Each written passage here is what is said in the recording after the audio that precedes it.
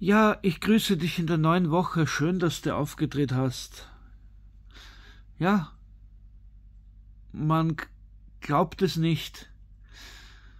Der Oktober wird dann auch bald wieder sein Ende finden. Dann kommt November.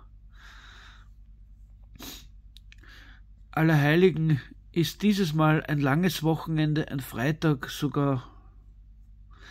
Aller Seelen ist ein Samstag. Ja, und dann kommt schon der 3. November. Und es freut mich eigentlich sehr, dass das Jahr wieder rum ist, weil man spürt schon, dass die Pfandflaschen sich nicht auf sich warten lassen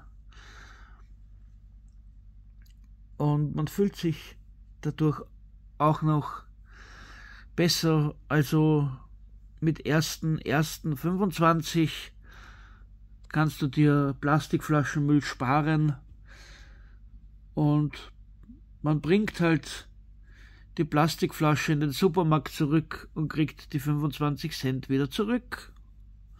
Deswegen kosten Getränk auch 25 Cent mehr. Aber man kriegt's zurück. Ich wünsche euch noch einen schönen Tag und vielen Dank auch. Ciao.